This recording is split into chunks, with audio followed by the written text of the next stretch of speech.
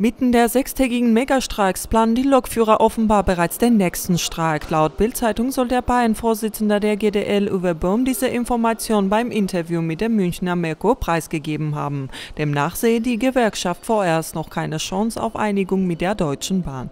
Der aktuell andauernde Streik soll am Montag um 18 Uhr zu Ende gehen.